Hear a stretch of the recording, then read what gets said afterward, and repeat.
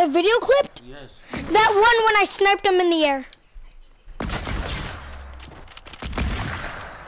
Nathaniel, what do you mean it's